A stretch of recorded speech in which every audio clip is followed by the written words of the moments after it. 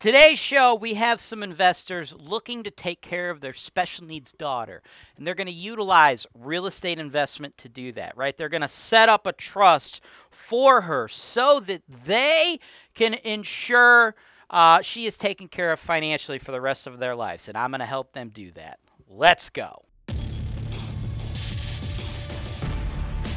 This is your show. This is the show where I work for you directly, taking your needs I'm going through the MLS and I'm trying to find the best possible deal for you guys. Put down 25%. That's the perfect way to buy this. That's why real estate investing is the greatest industry in the world.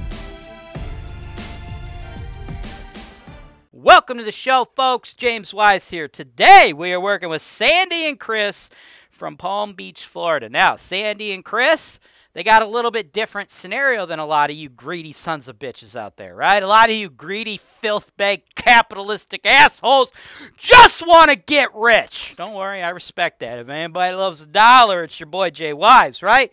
But Sandy and Chris, they're a special couple. They have, uh, I don't know if I want to say more honorable because, hey, we all got reasons for making our money, right? Uh, like a lot of people would consider me to be a rich asshole. But hey, man, I got a family to feed too, okay? I got a bunch of kids I got to take care of. And you know what? Just like uh, everybody else, my kids, they got issues too, right? So we all have reasons for making our money, right? But Sandy and Chris is, is uh, definitely a very honorable one. Their daughter has special needs, okay? And they want to create a trust, right? So they're not trying to live the high life. They're not like some of you young guns out there that want to get a freaking $150,000 SUV so you can cruise around and pick up hot chicks, okay? No. They want to take care of their child, which, by the way, if you're a young gun out there and you're watching the show right now and you're like, dude, I totally want to get a $150,000 SUV so I could pick up a ton of chicks, don't think that I'm not here for you, bro. I'm totally here for you. We will hook you up as well. Click the show notes below to book a free call on my team. But today, it's about you, Sandy. It's about you, Chris, and it's about your daughter. And you had reached out to me. You guys are interested in doing some like B or C multifamily stuff, interested in Section 8. That's great. That's what probably I would say the majority of the people that watch my show and invest in the Cleveland market gravitate towards. A lot of people really like like I would say the most popular thing is like duplexes in the C grade area where we're paying around right now in today's market like 100k for like 1600 in rent.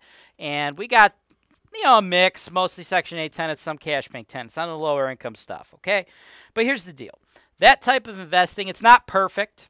There's no perfect investment that type of investing it does make a lot of money i've made the majority of my money with that stuff but for you guys I don't think return on investment is what I would focus on.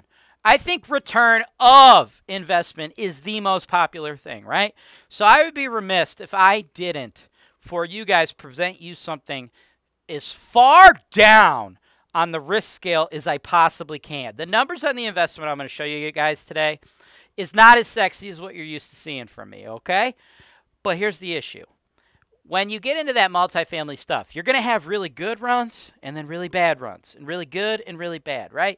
Like you watch that Tenants from Hell show, when stuff goes awry on these investment properties, it goes awry, and it's like a problem, right? You got to deal with it, right? You got Billy Bob, heroin addict, living in a property. He ODs. He's dead. Now we got to move his dead carcass out of the unit and re-rent it. And you got people not paying rent, people doing this, people doing that, right? Like, guys, where do you think we get the content from the Tenants from Hell show, okay? And for the most part, it's no big deal. I factor that kind of stuff into your analysis, and you got to roll with the punches, guys. That's my thing, right? That's my whole mission in life is to give you guys a truthful understanding of what real estate investing is really like, right? You have a whole bunch of uh, C grade rentals, a lot of Section 8 rentals, right? You're going to deal with a whole lot of fucking assholes, okay? There's a lot of fucking assholes out there renting C grade rentals. That's the name of the game. You're renting a lot of property to a lot of shitheads, all right? Does it make you a lot of money? Oh, yeah. I've made a lot of freaking money doing it. But that doesn't mean I ain't going gray. It doesn't mean I ain't losing my hair. You know what I'm saying? It can feel like a battle. And that is my number one objective with Holton Wise TV. That's to allow you guys truthful insight into that battle. So, with that said, I really looked at your situation. I'm like, dude, They're trying to build a trust for a special needs child. They need to go extra cautious. And if you guys want more higher risk stuff than this, to try to get a higher return on investment over the course of your next few videos, we absolutely can. But I really wanted to come to you with your first video and set you up with something that I feel very much can be a set it and forget it. Something that could be totally on autopilot and then if need be down the road be something that's very very easy to sell, right? Something you can sell to both owner occupants or rental property investors because folks the market where this one is, owner occupants drive the prices and they drive them higher up than areas where it's only investors, right? So I feel like going with something this low key is probably right right where you two need to be, even if you don't think so right now. Take it from somebody who's had thousands of tenants and dealt with every kind of investment you possibly can. For you, your situation, I think this is what's going to hit the nail on the head. Man, I hate those other real estate gurus out there. Those real estate gurus that lead you guys to believe fairy tales, lead you guys to believe in magic, lead you guys to think that there's going to be genies granting your wishes if you buy their course or their program. Like there's going to be hot girls in bikinis just popping out. That's not the real life of a real estate investor. And here on Holton Wise TV, we give it to you straight. Welcome back. Let's pull up the property, right? So this one, folks, this one is not as sexy as what I think a lot of people uh, typically go to the Cleveland market to find, right? They're looking for crazy cash on cash returns. This one is not going to give that to you. You're not going to get like, oh my God, the numbers. You're not going to get crazy on the numbers, okay?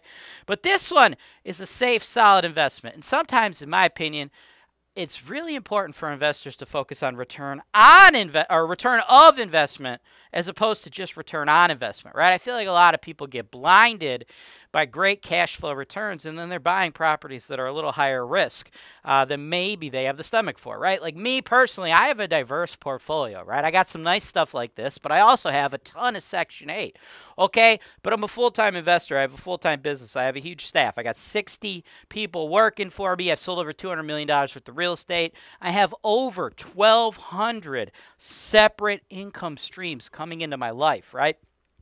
And I tell you that because you need to understand if you're going to only have a few income streams, right? You got your W 2 job, and then you got a rental here, rental there. You're trying to get these income streams going.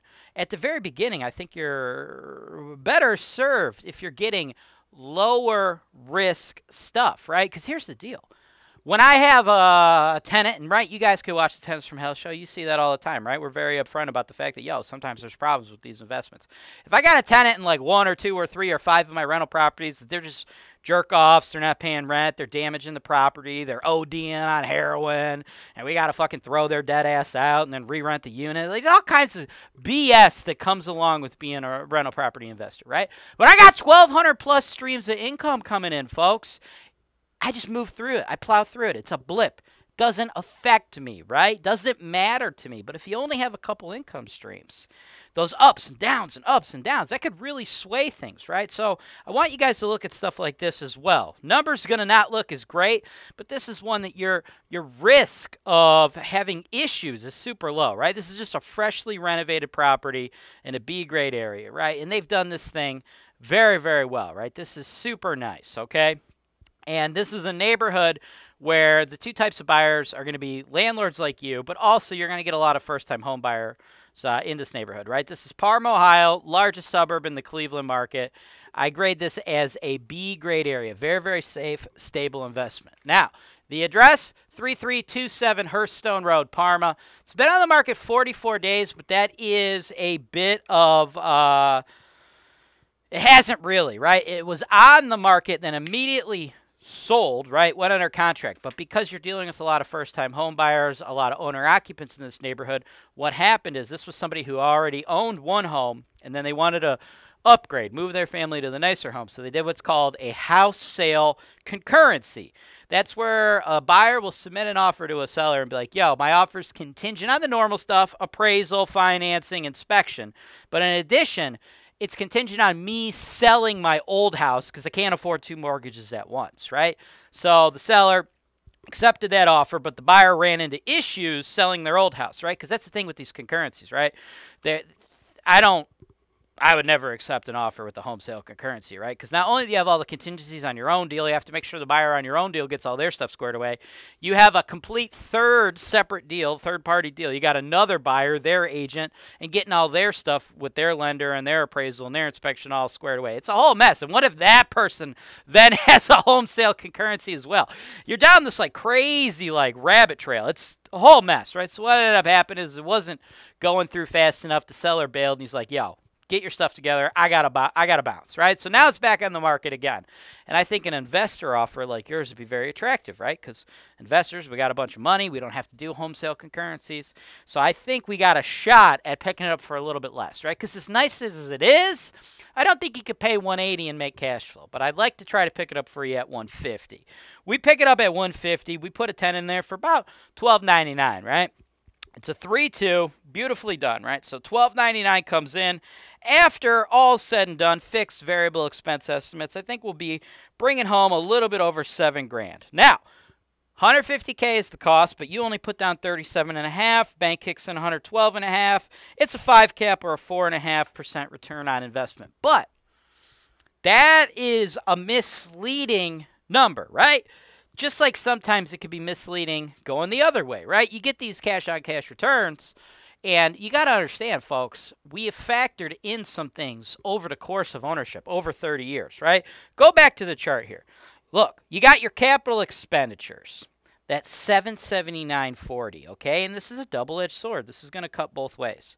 That doesn't mean every single year you're spending 779.40 on capital expenditures. Now, What that means is over the average course of ownership, I anticipate you spending 779 a year on average, right? So that's things like your furnace, your roof, your hot water tank, okay? So you take a furnace, about 3 grand. It's going to last you about 30 years. This one's new, right? So that's 779. You're not spending any of that money towards a furnace for probably 30 friggin' years. You'll probably sell it before you replace it, right? So it's not like that 779 is getting spent. That's coming back to you in addition to your NOI, but I don't allow you to consider it in your brain to think about it as NOI because eventually you'll need a furnace. Same thing with your roof. They last about 30 years. You're looking at like 8K, right? But it's a brand new roof. You don't got to mess with it, right? Your vacancy and non-payment, I averaged that out for you, 779, right? You might have a tenant who lives in the house for 10 years, right? That's the thing. When you buy nicer assets like this, assets where people are driven to rent in this area because they like the school system. They don't want to put their kids in the Cleveland school district, so they move them to Parma. They don't want to move because they don't want to change their kids' school. Think about that. There's 15 schools in the city of Parma, right? That's how you get longer tenancy. So that's 779, right? If they live there for 10 years, that's another seven grand on top of that profit, right? So if your tenants are getting evicted, all that stuff, that's an issue. And then that's your repairs and your maintenance as well. That's 779 for that. The majority of your repairs and maintenance are going to be on older mechanicals. This one doesn't have those. And they're going to be when tenants are moving out and you have to do like a $5,000 turnover, $6,000 turnover, $7,000 turnover, things of that nature, right? So sometimes these numbers can be misleading. In my opinion, a property like this is going to run the best chance uh, at being a very stable investment for you, not something that's got really good years, really bad years, really good years, really bad years, right? This is like the perfect low key investment where you can truly set it and forget it.